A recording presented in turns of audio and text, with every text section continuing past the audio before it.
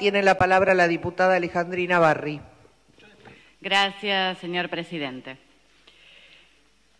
La pandemia sacó a la luz problemas que ya existían en la sociedad capitalista y que los amplificó, centralmente en nuestra ciudad. El hacinamiento, la falta de vivienda, el problema del suministro de los servicios básicos, básicos como la provisión de agua y el tema de los espacios verdes, dos graves problemas que tiene nuestra ciudad. Pero como si esto no existiera, como no fuera un problema grave, urgente a resolver, hoy en esta legislatura estamos discutiendo tres convenios urbanísticos que son puro negocio. Tres convenios en donde lo que se instaura es un mecanismo donde una constructora paga y se modifican las leyes a su favor. Lo que se conocía, como siempre se ha conocido, esta legislatura, como la escribanía, hoy ya podríamos definirla como un kiosco. Un kiosco, pero que ahora vende cosas más rentables, como leyes y normativas a favor de los grandes empresarios inmobiliarios, de las grandes constructoras. Y Costa Salguero, lo que estamos discutiendo acá, la costanera norte, su privatización, la construcción de un Puerto Madero 2, lo definiría yo.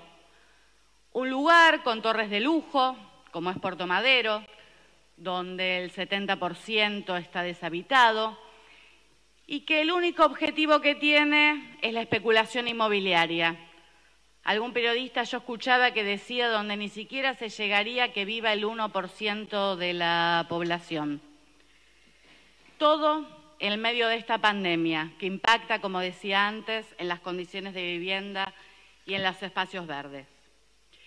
Y llama la atención llama la atención que cambiemos, no se inmute, no se le caiga la cara, que en el Congreso siga diciendo como si nada que lo único que se puede discutir son cuestiones relacionadas con la pandemia, pero que aquí es puro negocio.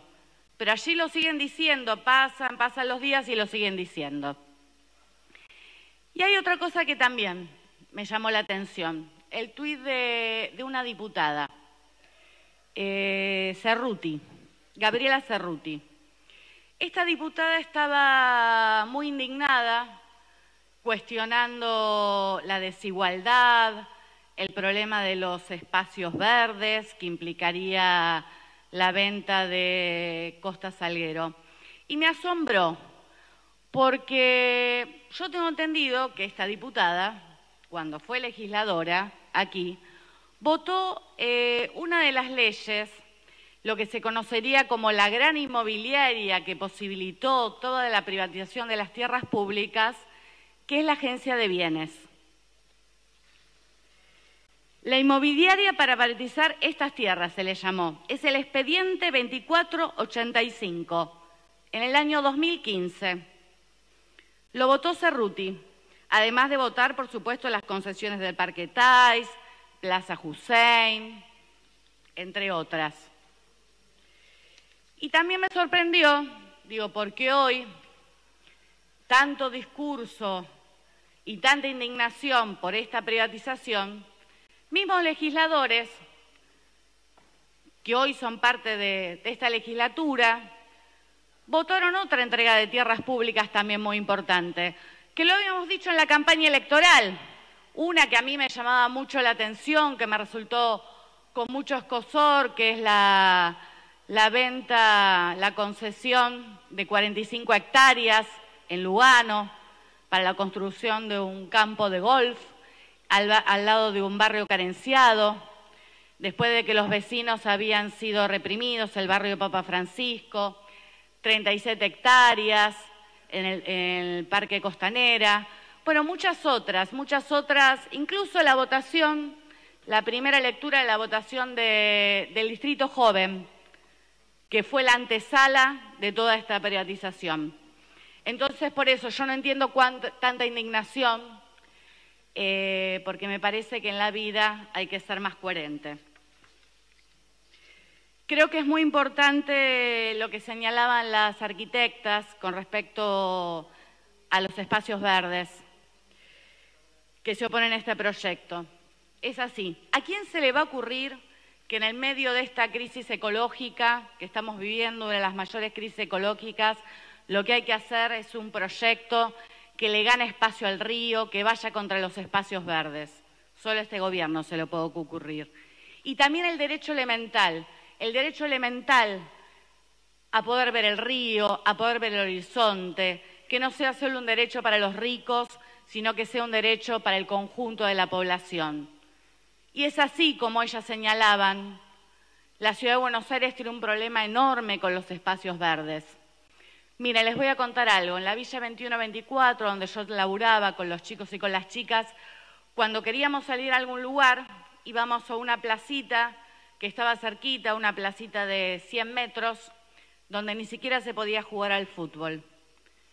Y después de muchos años se construyó un lugar eh, dentro de la villa que tiene pasto, eh, un único lugar que es una cancha donde se puede jugar al fútbol o algún otro deporte en una población de 70.000 habitantes. Miren si no hay un problema con esto. Y el problema de la vivienda, que está relacionado con esto. Guernica. Y ustedes me van a decir, ¿qué tiene que ver Guernica con esto que estamos discutiendo acá? La construcción de torres de lujo. Mucho tiene que ver por no decir todo. El negocio, la especulación inmobiliaria, hace que esta sea una ciudad cada vez más expulsiva, porque el objetivo de la especulación inmobiliaria es esa, es la inversión de los grandes capitalistas, no invierten en las fábricas, no invierten en trabajo, invierten en construcciones, en viviendas que luego son vacías, pero ¿qué hacen? Que junto con esto, digo, se revalorice todo el valor de las zonas aledañas.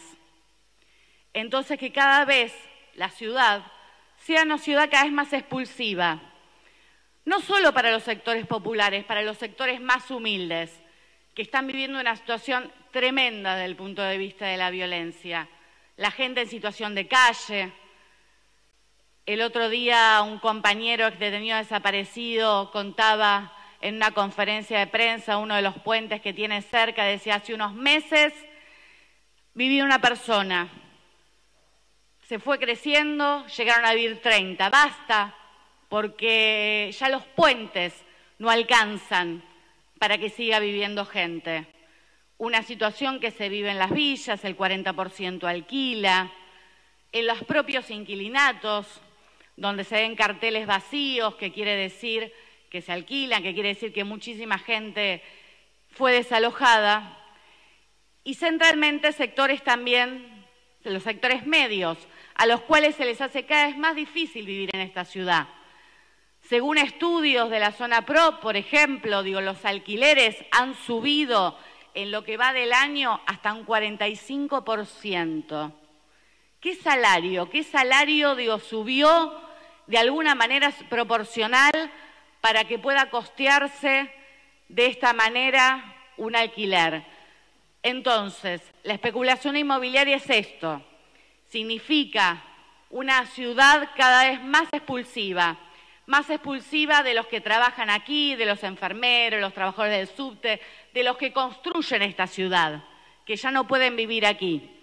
Y como decía un teórico, David Harvey, decía, en el mundo se está discutiendo una cosa muy importante, que es el derecho, el derecho de los informales a la ciudad, no solo la vivienda, el derecho a la ciudad, el derecho a gozar de todos los derechos que significaría poder vivir en esta ciudad. Entonces, ¿qué pasa? Esta ciudad expulsiva, la red empuja, los intendentes empujan y así te reciben en el tercer o cuarto cordón de la provincia de Buenos Aires, porque todo lo primero ya está ocupado por countries. Porque la política no es distinta. Acá son torres de lujo. Allá son countries o también barrios de lujo. Muchos de ellos construidos sobre humedales, si queremos hablar del problema del medio ambiente también, digámoslo todo. Porque lo que divide acá no es la General Paz, como nos mostró la pandemia, sino que es la clase social. Y entonces aquí hablemos en serio. Hablemos en serio de qué son las minorías violentas. Porque las supuestas negociaciones que se están realizando en Guernica se hacen con helicópteros sobrevolando, con días contados para un desalojo y con mamás que están en esas casas construidas como pudieron, con sus hijos, que están aterradas que no pueden dormir a la noche porque saben que en cualquier momento puede caer la policía bonaerense. ¿Y aquí qué nos dicen? Nos dicen que no queda otra cosa que cumplir un fallo judicial, que si el fallo judicial ordena que hay que desalojar, hay que cumplirlo. Miren, yo les voy a decir una cosa. Mi vida, mi historia, yo soy hija de desaparecidos, todos lo saben. Jamás la hubiera podido reconstruir si acataba los, fallos judiciales o las órdenes de justicia. Yo tuve que demostrar, peleando contra esos fallos judiciales, que mis padres fueron asesinados. Algo que no solo hice yo, que tuvimos que hacer todos los hijos desaparecidos, todos los familiares de desaparecidos. Entonces, a mí nadie me va a venir a decir que en un país como la Argentina, con la tradición que tenemos en la lucha contra la impunidad, en la lucha contra el dos por uno, hay que acatar sin más los fallos judiciales y más cuanto van contra los sectores populares.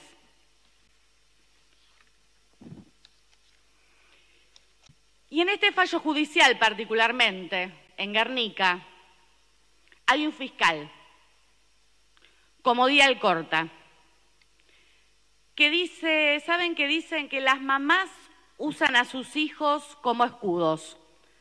Se lo voy a leer textual lo que dice. No podemos dejar de preguntarnos si las personas que están en la toma están usando a sus hijos como escudos ante un eventual desalojo. ¿Están protegiendo los derechos de sus hijos o los están exponiendo?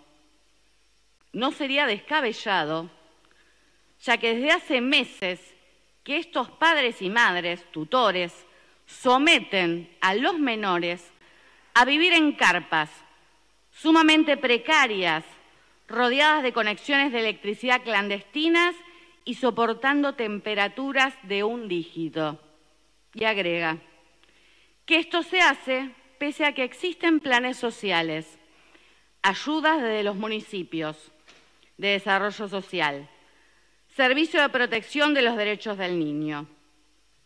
Pero a simple vista, los responsables de estos menores optaron por tenerlos alojados en esas condiciones.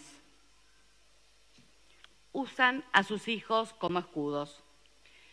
Que alguien me explique realmente cuál es la diferencia entre esto que dice este fiscal y lo que decía el Tigre Acosta. Que decía el Tigre Acosta sobre nuestras madres. Que nuestras madres, mientras huían de la dictadura o seguían luchando contra ellas, que tenían el derecho a estar con sus hijos, nos usaban como escudos. En mi caso en particular, en una gran campaña mediática que se hizo para justificar el asesinato de mis padres, llegaron a decir que mi mamá tenía eh, armas en mi cuna y lo sacaban por todos los medios, mostraban eso, la usan como escudo, tenía armas en su cuna. ¿De qué armas? ¿De qué hablaba el Tibre Acosta? ¿Y de qué hablan ahora? ¿De qué habla Codomial Corta? Y me van a decir, digo, que este personaje tenemos que aceptarlo y tenemos que decir resignados, sí, sus madres las usan como escudos y vamos a reprimir igual. Los que tienen que bajar sus armas son ustedes, porque en esto no hay grieta. Y siguen apuntando a esas mamás. Basta, son mamás que no les quedó otra, víctimas de violencia de género, no pudieron seguir pagando el alquiler, están con sus hijos, están pasando frío, están pasando hambre. Y en esto no hay mucha vuelta, no hay mucha vuelta. O se está con este fiscal, con los dueños del country, con esta intendenta del Frente Renovador y su esposo de la CGT, que dice que ya tiene reservado esos terrenos para los country o se está con esas mujeres. Nosotras ya decidimos, ya decidimos de qué lado vamos a estar. Con mi compañera Miriam Breckman, cuando termine esta sesión, nos vamos a ir a marchar con esas mujeres, porque vamos a defenderlas de la represión, porque vamos a defender su derecho a tener una vivienda digna, pero también su derecho a tener educación para sus hijos, a tener derecho a tener un trabajo, porque somos coherentes, porque estamos en contra del negocio inmobiliario, de los negocios para los capitalistas, acá en la ciudad de Buenos Aires y en la provincia de Buenos Aires, de esos mismos empresarios, con los mismos dudosos antecedentes, con los mismos negociados que utilizan todo eso para expulsar a los pobres y después de eso reprimirlos. Entonces, basta, basta de favorecer a las grandes constructoras, a estos grupos inmobiliarios.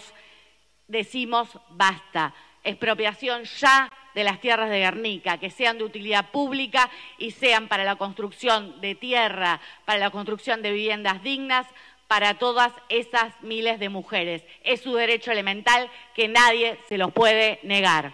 Muchas gracias, señor presidente.